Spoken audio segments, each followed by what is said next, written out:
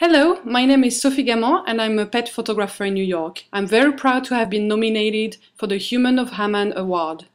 Most of my Facebook friends know me for my glamorous pet fashion photography, but few of them know that I also volunteer most of my time for a dog rescue named the Sato Project.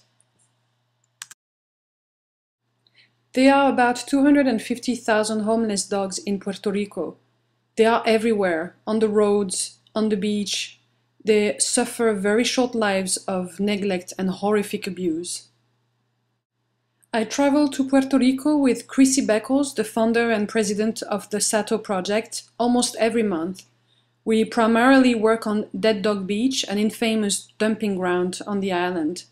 My job is to document Chrissy's work, photograph the dogs on the beach, um, but more importantly, give them food, water, love, and when we can, a new life as we rescue them. During each of our trips in Puerto Rico, we usually rescue around 15 to 20 dogs and we send the same amount of dogs to New York into their foster families or adoptive families. Once we save the dogs, our vet in Puerto Rico fully vets them and vaccinates them. In 2012, the Sato Project rescued, vetted, rehabilitated and adopted out 400 dogs. That's more than one life saved per day.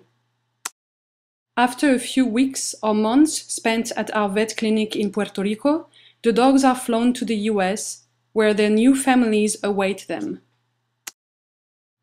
Once the dogs arrive to New York, they come to my photo studio and I photograph them in their glory, healthy, happy, safe, and loved.